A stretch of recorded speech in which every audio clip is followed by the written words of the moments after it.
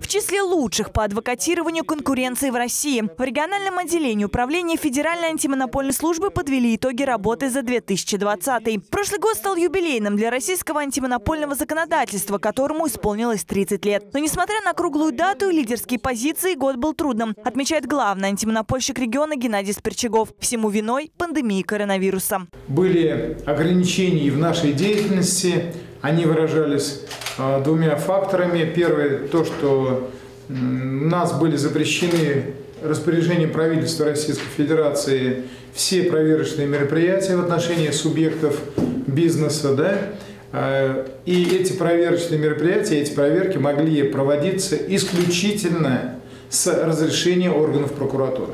Второе ограничение связано с персоналом. Новой коронавирусной инфекцией переболели 30% специалистов и так небольшого коллектива Ульяновского управления. Сам штат сократился на 10%. По сравнению с прошлым годом на 25% выросли жалобы по госзакупкам. В два раза увеличился уровень нарушений со стороны органов местного самоуправления. Одно из самых популярных – передача недвижимости без торгов. Если в 2017 году, значит, органы э, местного самоуправления нарушили 12 раз – по нашим данным, антимонопольное законодательство, то в 2020 26.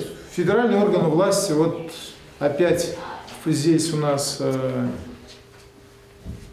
стоят особняком, ни одного нарушения не было. Рассказали ульяновские антимонопольщики о громких делах года ушедшего. Все они касаются недобросовестной конкуренции. В зоне внимания ФАС оказались один из резидентов портовой экономической зоны и крупная теплоснабжающая организация. С юристами управления суды чаще всего соглашаются. У ФАС Ульяновской области также в числе лидеров по выигранным делам в судах. У нас самый, один из самых высоких показателей в Российской Федерации среди территориальных органов ФАС – по многим показателям это 100%.